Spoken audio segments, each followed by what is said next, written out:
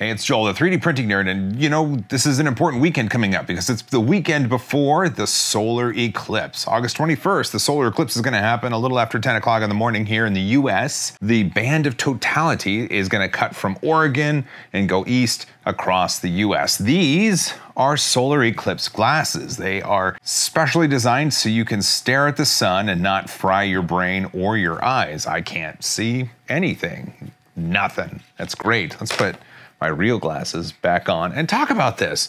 So these were hard to find, and uh, you're not, I don't think anybody has any left.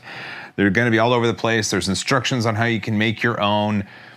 Uh, you know, you have to watch out for kids because they can peek out from one side or the other, and they can they can hurt their eyeballs. One of the great websites out there about the eclipse is eclipse2017.nasa.gov, and they talk about what you can do to view the eclipse and what you should prepare for and what glasses are safe. They also provide these awesome 3D models for pinhole projectors. This is a model of the state of Washington. It's not geographically correct because we have a peninsula and there's no peninsula here.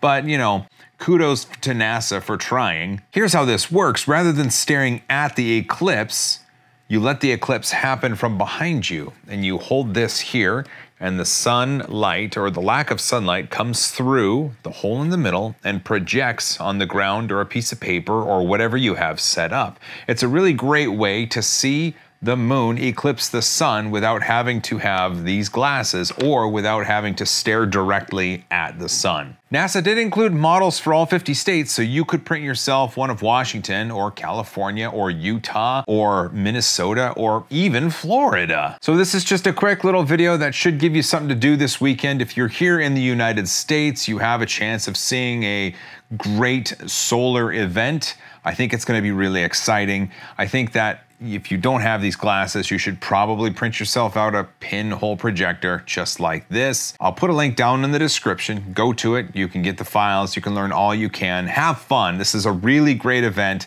and it should be something you remember for a very, very long time. All right, well, that's it. It was just a really quick little video. Have a great weekend. Have a great eclipse. I can't wait to see the videos and the photos you take of it. Be safe. Be awesome. I love you guys. As always, high five.